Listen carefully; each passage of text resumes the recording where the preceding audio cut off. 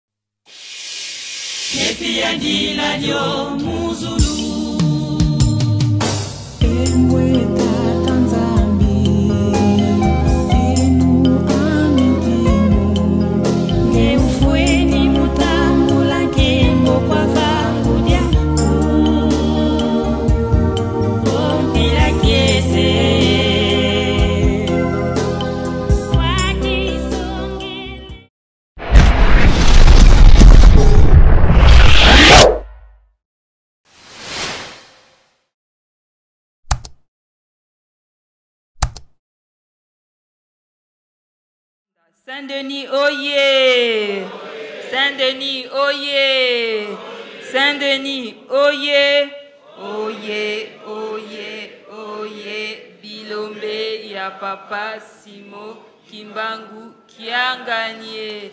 tomoni bongo papa pasteur responsable asili kozonga na kati ya paroisse akendaki bongo mobembo na mboka ya nkamba pour les festivités du 6 avril nde tokosenga na papa otelema mpo ete topesa yo mbote Flicky.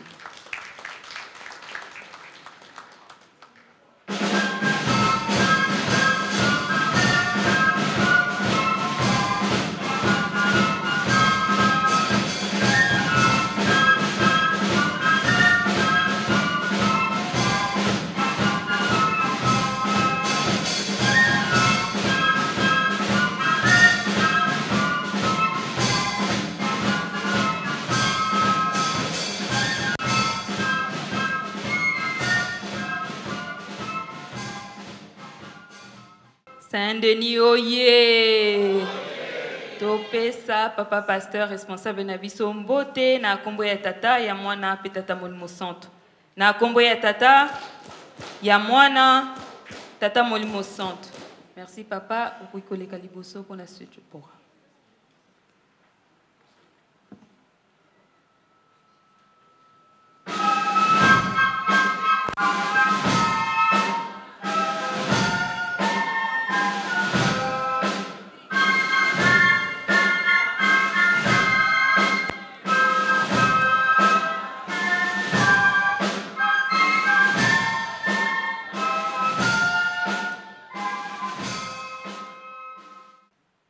Merci na ba mbote oyo nyonso tu epesami. Merci na biso nyonso tu. Lobi ezalaki fete na biso monene ya le 27 lelo papa Simon Kimbangu apesi biso lisusu makasi tosangani awa tobosani ba fatigue tobosani makambo nyonso tu kasi lokola tozali na mission na ye yango oyo toye kosangana merci na bandeko nyonso tu bauti bisika na bisika bayeli biso na mokolo ya lelo na kati na esika oyo le 27 ezalaki journée ya esengo Tokolobela yango mingi te, kasi esengo na biso ezali ete bato ya bamama apres kotraine apres kobunga apres nyonso tu tata molimo santo abongisi ke ekoma le 27 na mboka Congo. Merci na ndenge abongisili biso, merci na ba maman na effort nyonso oyo ba maman basali. Merci na effort oyo nyonso tu biso nyonso tosali po bato wana ekoka kokoma po tosala oyo tata molimo mosantu aza kosenga po esalama Tata Molimo Santu akeyi lisusu ke lutendele tozongisa yango. Toyebi na kati ya lingomba oyo eloko nyonso tu ezala ya moke mpo na kosala ezalaka bitumba. Alors bamama tokitisa maboko te, tokende mpe mpo tozongisa lutendele ndenge ezalaki. Bayebisi biso Mpo na ba biloko esengami lelo, oyo nyonso amemi biloko akodefile na yango, tokolekana. Oyo azali na yango te, okoki kopesa nature, opesi mbongo mpo ba biloko ekoka kosombama ndenge mama responsable asengi kuna mpo nyonso tu ekoka kokoma na destination na batata bamama biso nyonso topartisipe ntango ezali mpo na paroisse na biso toluka kosala na ndenge nyonso de façon que To police equipe te. Tokendeki na nkamba Yeluselemi. Basango ezali mingi ya kopesa. Kasi oyo ekoki na bambuta tosololaki vendredi topesaki basango ebele bambuta bakopesa bino Biso tokokende plus na makambo ya Tata Molimo Mosantu. Tokomaki na nkamba ya Luselemi mpo na feti ya le 6 avril. Le 6 avril ya liboso oyo bato bamataki mpo na kolakisa esengo na bango na journée oyo bapesaki biso epai ya tata mokonzi ya mboka Congo. Bato bazalaki ebele kasi tolandaki na bilili kolanda ezali neti mutu ozotala match tomonaka bato oyo bayebi football Kotala match mais mutu oyo ayebi alingi ayeba football akoluka ayeba ndenge nini je eza kolekana mutu ayebi te azomona kaka baoyo bazwi bale balekisi boye bazwi boye mais mutu ayebi azotala technique nini eza na kati système nini bazobetela yango wana ya koyeba biso tata molimo mosantu mokolo wana azwaki maloba azwi maloba abandi nalingi mokili mobimba epai bozali, boyeba ete biso tozali bana ya mapamboli. Tata Molimo Santo alingi mokili mobimba eyoka message oyo ye azalaki na yango.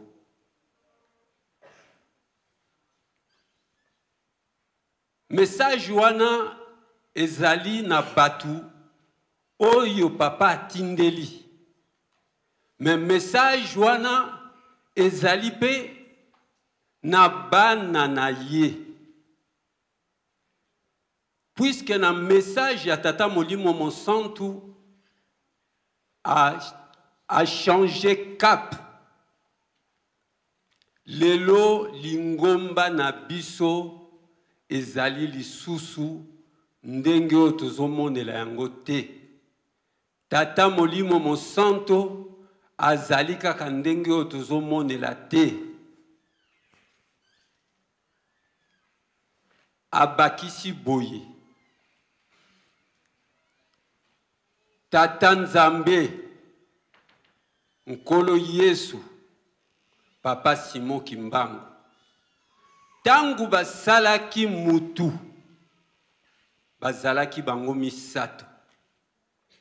Tata Nzambe, Nkolo Yesu, Tata Simon Kimbangu.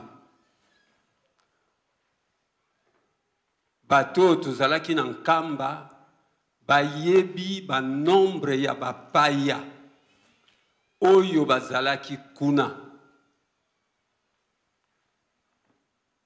Pe papa azoloba liloba nyonso akoloba asengi interprète Asala yango na monoko oyo bango nyonso tu mokili mobimba ekoyoka. Basala yango na anglais, bazo traduire yango directement mpo na koloba ke message oyo naza koadresse yango mpo na mokili mobimba. Anglais ezali ba langue oyo elobam, elobamaka mingi na mokili oyo esika nyonso tu bato balobaka yango mpo apesa message mokili mobimba eyoka yango ke ntango basalaki mutu tata simon kimbangu azalaki wana mpo na kosala mutu mpo na koloba na mokili ete tata simon kimbangu azali nzambe natie parenthèse na 87 ntango ya centenaire awa na bambuta tozalaka na bango na ntango wana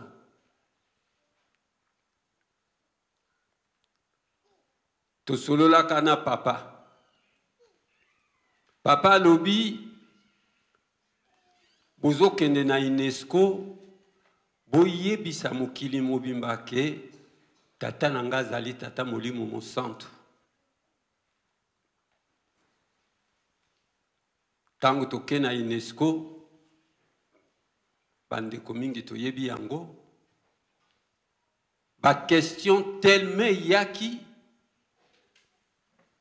papa malongo akrake alobi nayebisi bino ke tata simo kimbangu azali molimo mosantu bolinga bolinga te eza ndenge wana bozonga na bino donc akendeki na bango mpo na koyebisa bango ke aza molimo mosantu esuki kaka ndenge wana Mais lelo generation oyo tozali na ba preuve ya ko demontrer mpo na koyebisa mokili lelo papa amoni ke biso bana Tolingaki to demontrer que Papa Simon Kimbangu azali Tata Molimo Mosanto na nini? Na bizaleli na biso.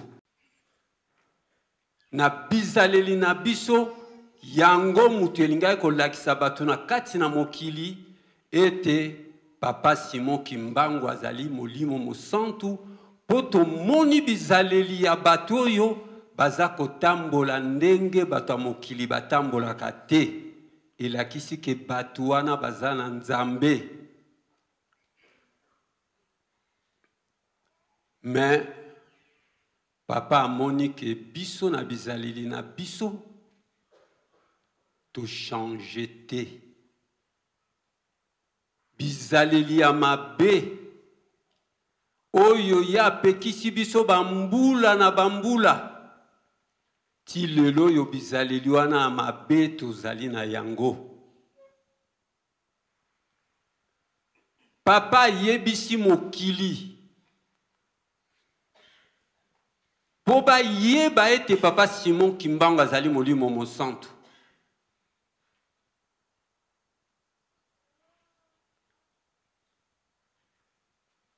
biso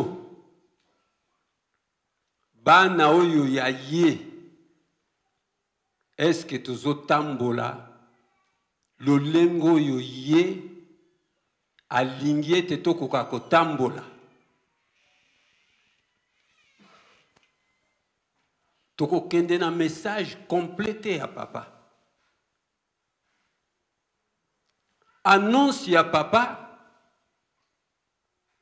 elandi nzembo.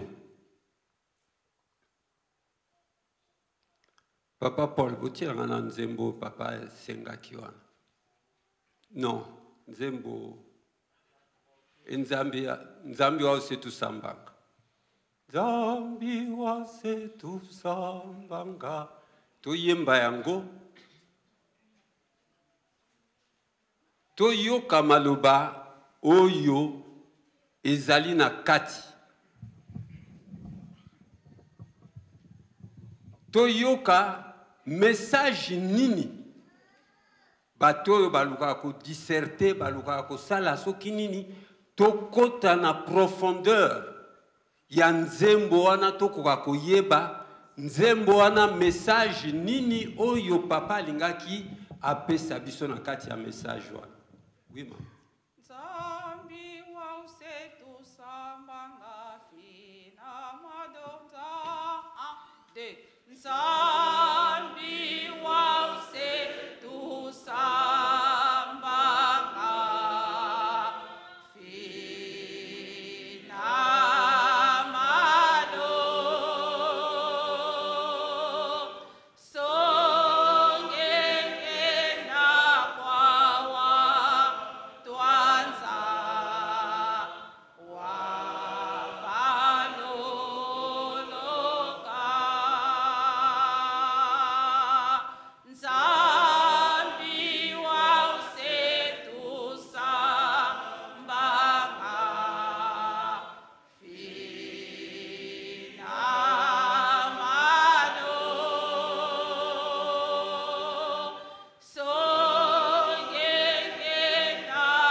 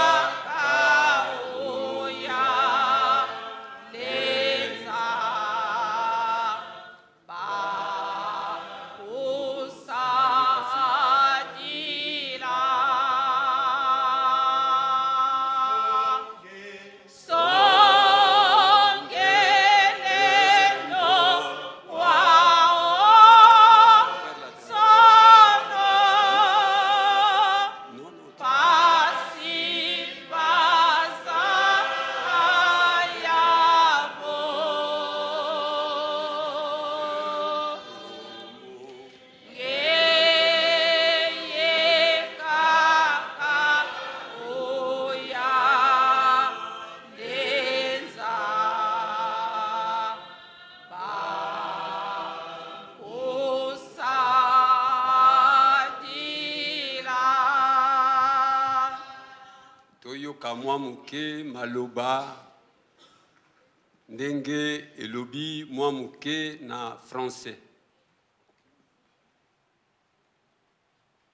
Seigneur Dieu, quand nous prions, viens nous assister. Montre ta miséricorde à l'humanité et aie pitié d'elle. Dieu le Père à qui nous adressons les prières ou nos demandes, viens vers nous Montre ta puissance à l'humanité entière, qu'elle puisse te connaître vraiment.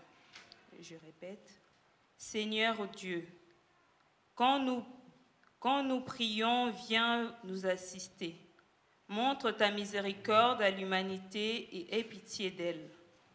Dieu le Père à qui nous adressons les prières, viens vers nous. Montre ta puissance à l'humanité entière qu'elles puisse te connaître. Les intellectuels pensent ou soutiennent qu'il n'y a point de Dieu ou que Dieu n'existe pas. Tous les raisonnements qu'ils semblent instituer, ils n'y parviennent pas. Les intellectuels pensent qu'il n'y a point de Dieu. Tous les raisonnements qu'ils semblent instituer, ils ne parviennent pas. Mes chers frères et sœurs, tenons la main dans cette œuvre du kimbanguisme. C'est la volonté du Créateur que nous appliquons afin c'est la volonté du Créateur que nous appliquons. Mes chers frères et sœurs, tenons la main dans cette œuvre. C'est la volonté du Créateur que nous appliquons que le Saint-Esprit puisse agir partout. Vainqueurs, nous laisserons serons et vaincrons le monde grâce au Sauveur. Que le Saint-Esprit puisse agir partout. Vainqueurs, nous laisserons serons et vaincrons le monde grâce au Sauveur. Le refrain. Démontre ta puissance à tous pour qu'ils sachent que toi seul gouverneras tout l'univers, et ils œuvreront pour toi. Démontre ta puissance à tous pour qu'ils sachent que toi seul gouverneras tout l'univers et ils œuvreront pour toi. Merci maman. Toyoki nzembo oyo papa alingaki ke mokili mobimba eyoka. Nzembo oyo soki otali yango na bacouple na yango nyonso tu alingaki kolakisa na mokili ete ntango na ye ekoki, ntango ya Papa Simon Kimbangu ekoki mpo akonza mokili oyo. Yango message atindeli na mokili, kasi atindeli mpe biso bana na ye. Mpo ye akonza mokili, akokonza yango na banani?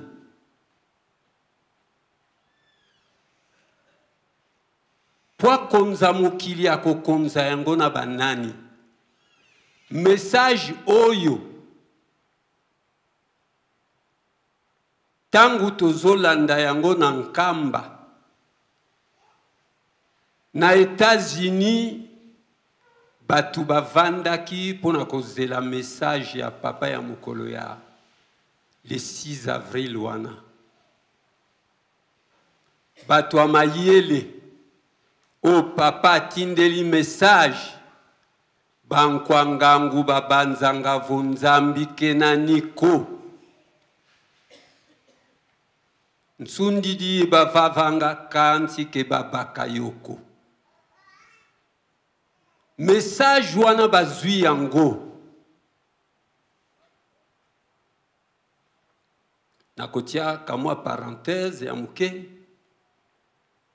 Ba tata na esalamaka na kanti na wenza 6 to na wenza 5 bana njili bayebi bato oyo basalaka babimpangganza na bango moko azalaka ye soko aye epai ya bato tondi bato batondi akokata lolemo na ye Akati lolemo, bato babeti maboko, bapesi ye bambongo, akei. Kasi mokolo wana amonaka ke akata lolemo, moto mosusu azalaki pembeni, azalaki plus puissant ke ye, akangi ye na bamystike na bango. Olie akata ya fo ndenge akataka, akokata mpenza ya malamu. bokanisa sort ya mutu wana devant batu ezalaki scandale soki otuti tolo ozali sur tata molimo mosantu atuti tolo na mokili mobimba Mokili mobimba ba satellites evandaki mpo na kolanda message ya Papa Molimo Mosantu.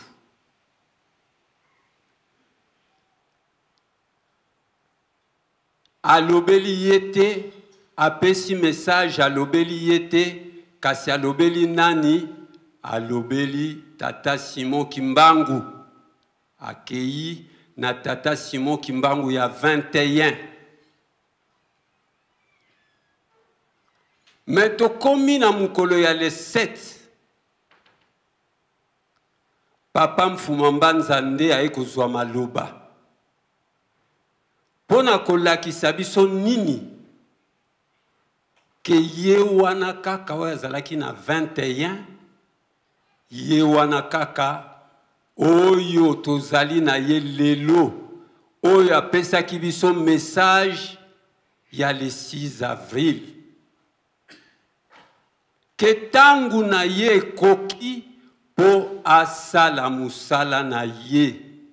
Akosala yango na banani?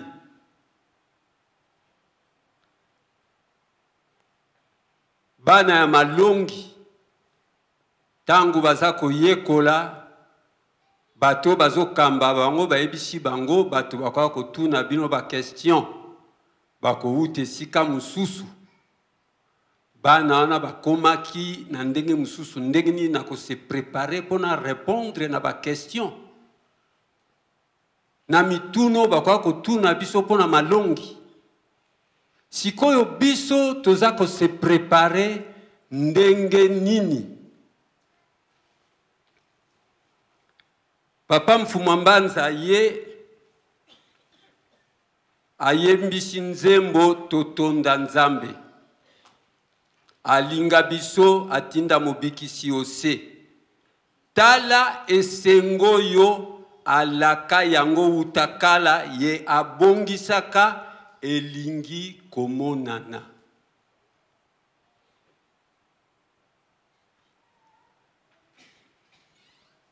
Message oyo papa Mfumua Mbanza aye kopesa na le 7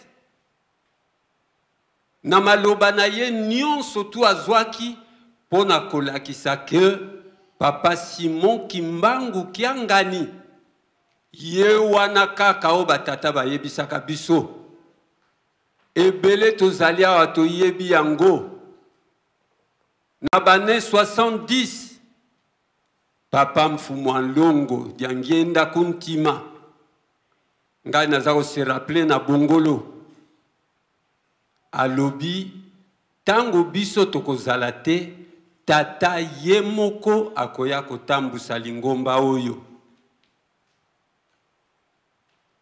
ngai na, na tango wana eperturbaka ngai naza kose demande ngai alobi tata akoya donc tokomona papa simo kimbangu na elamba na ye ndenge alataka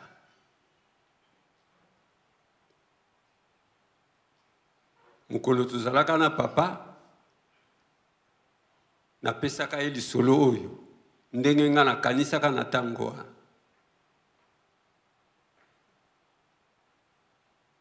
me lelo message wana ezali adresse epai na biso Biso toyebi ete alingi koningisa mokili.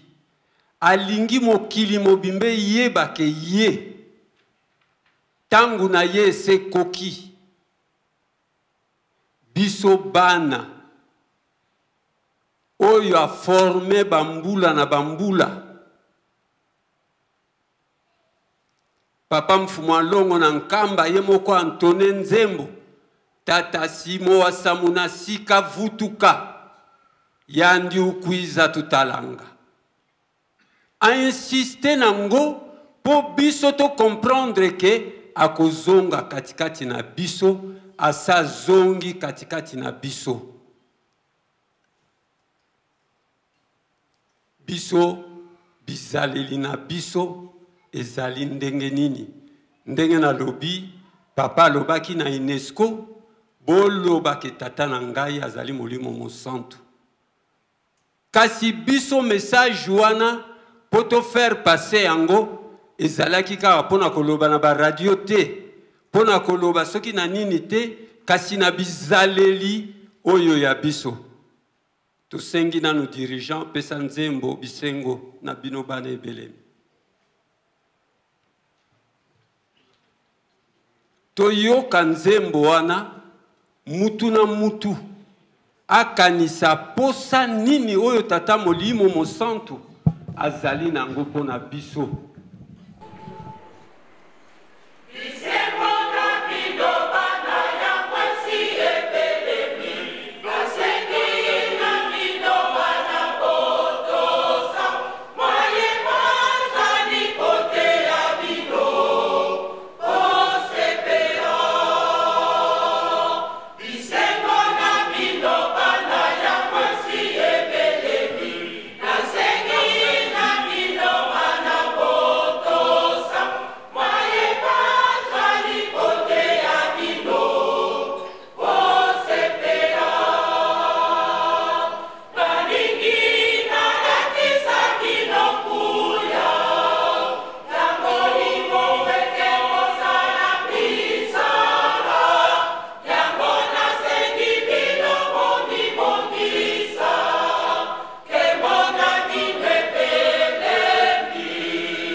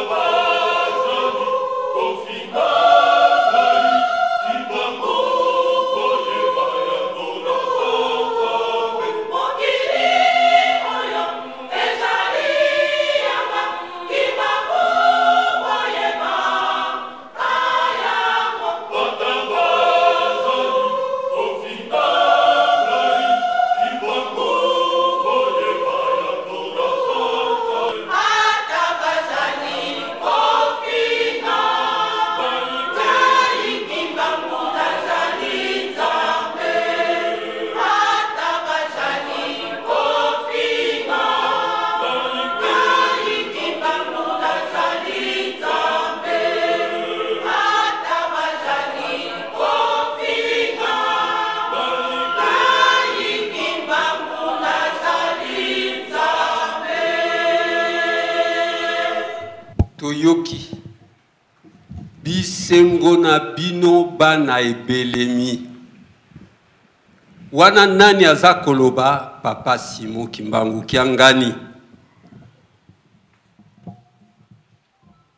Nasengi na bino bana botosa maye bazali koteya bino mpo bosepela.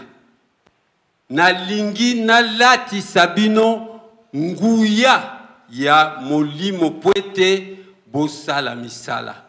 Nani oyo bakoki kolatisa nguya? nguya wana papa asa yebisa biso ke nguya ekoya oyo nyonso tu ekoya kokuta ye na ndenge oyo ekoki te akobwakama maloba ya nzembo oyo nakutani na papa simon kimbangu kiangani mbala mibale ndenge nakei awa me mbala na ngai ya mibale alobi na ngai makambo par rapport ya likambo oyo natunaki ye motuna arepondre nga par rapport ya likambo oyo tokosolola yango mokolo mosusu tokodevelope yango Nalingi nalatisa bino nguya ya Molimo mpo ete bosala misala yango nasengi bino bomibongisa. Nani oyo aza komibongisa? Nani oyo ake kotubela? nani oyo alingi kochange bizaleli natika nyonso mpo tata molimo mosantu alobi anonse yango mokili mobimba oyo mpasi oyo nyonso tu tomoni na kati ya lingomba tolingi ekende pamba lobi bato bapemaki biso lobi toke kosepelisa mama mwilu tozongi lelo na ba conditions ya pasi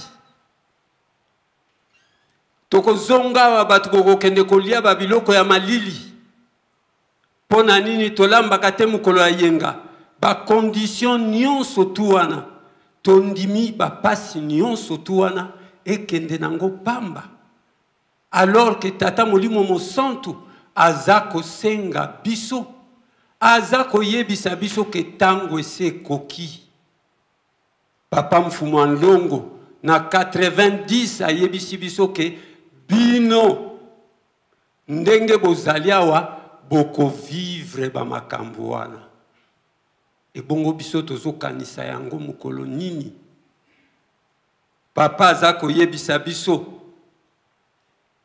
bana botosa bomona mboka ya elaka ndenge papa alobaki bakokanga biso na bilamba mpo tomema bango ebongo bapasi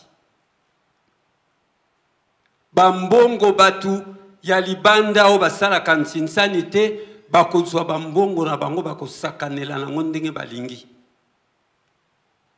bakokota barestaurant oyo ekoki mpo na kolia bapla ya kitoko bakokende kosomba babilamba oyo ekoki yo mbongo na yo okosomba teni ya basurveillant yo mbongo na yo okosomba zunganisa mbongo na okosomba teni ya jeteki ya ba me nyonso tu wana mpo na nini papa aza na place oyo alingi tokoma apesi biso chance lelo soki otiki otubeli otiki libela ye nguya wana ntango ekokweya yo kozwa yango Mais yo lingi te nguya wana ntango ekoya ekobwaka yo mosika ekobwaka yo mosika oyo ezalaki na 21 oyo papa simon kimbangu akangaki bandoki ezali ya moke yo mwana papa simon kimbangu Soit yo ya kino kaka ke ngai Satan libela. Toyebi ke Satan na Nzambe oyo azali awa azali awa nzela mibale ekoki kokutana te. Sikoyo yo olobi nini? Tata Molimo Mosantu aningisi mokili. Message wana biso tozomona yango message moko kaka ndenge toyokaka. Mais ye apesi message kati na mokili ke nalingi naningisa mokili. Biso bana na ye toza wapi? Tozwi temps mpo na koloba. Tokoti lukuta kano. Papa apesi message. aye ayebisi biso bambuta me message wana eza kaka epai na biso bambuta te toyebi ke biso bambuta responsabilité ezali ya mingi pamba te biso mpe na kote na biso tobebisi mingi toza kobebisa papa azoyebisa biso oyo bokotisaki na kati ya lingomba bolongola oyo bolongolaki bozongisa biso bambuta tozali bafautif na bamakambo mpe ebele kasi message wana ndenge mama ateyaki biso awa alobi grade oyo eleki kimondimi ezali te biso nyonso toza na kati papa alobi fini la récréation a utiliser langage simple ya biso ntango nzambe azoloba fini la récréation yo place ozali olobi nini recreation mpo na yo ekokontinue to osilisi ndenge tata molimo mosantu aza kosenga yango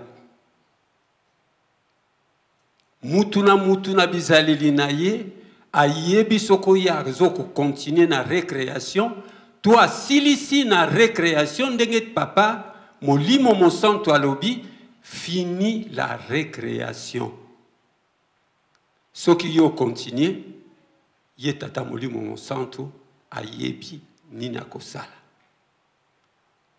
na mokolo ya suka lukuta kano esili aye kopesa biso lisusu message alobi epai bozozonga bopesa bandeko nyonso tu mbote oyo nyonso bomoni oyo nyonso boyoki Bokomisa yango.